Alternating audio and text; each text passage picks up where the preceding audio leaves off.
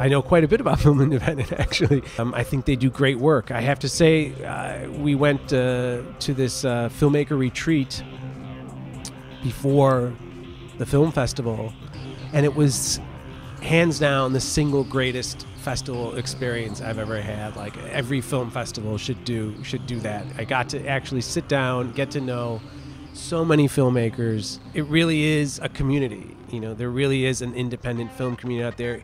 A lot of the shared, a lot of shared experiences. And if it's only the studios that are making pictures and telling stories and sort of creating the narratives that we embrace as a society, as a you know, as a civilization, um, that's not a good thing. And I think with you know independent cinema, you get it, you know a you have different viewpoints. You have a, an opportunity to to add something to the collective human experience, um, and that's storytelling, which I think is essential to to any society. So I think just having that, it's almost like a safety valve. I think it keeps it helps keep everything in check.